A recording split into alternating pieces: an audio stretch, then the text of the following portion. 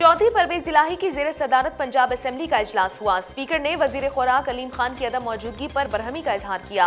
Punjab assembly में हमजा शहबाज की गिरफ्तारी पर नून लीग का अलामती वॉकआउट। लीग अरकान असम्बली ने अपोजिशन लीडर से इजहार यकजहती के लिए एहतजाज किया।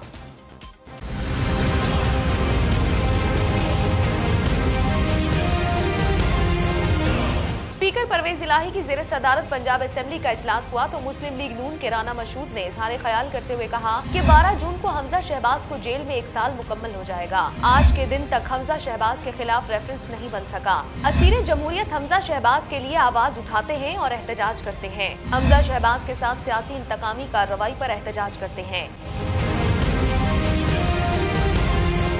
हमजा शहबाज की तारीखी जद्दोजहद को सुनहरे हरूफ में लिखा जाएगा। एक साल हो गया, हमजा शहबाज बेगुनाह गिरफ़्तार हैं। हमजा शहबाज की गिरफ्तारी और नून लीग के वॉकआउट पर वज़ीर कानून पंजाब ने इजहार बरहमी करते हुए कहा कि हमजा शहबाज किसी एग्जीक्यूटिव ऑर्डर के तहत जेल नहीं गए। वो अदालती हुक्म आरोप जेल में है। नवाज़ शरीफ इलाज के लिए बाहर गए, मफरूर कहें तो नारे शुरू कर देते हैं। स्पीकर पंजाब असेंबली परवेज इलाही ने रिमार्क्स दिए कि पंजाब हुकूमत का हमजा शहबाज केस से कोई ताल्लुक नहीं।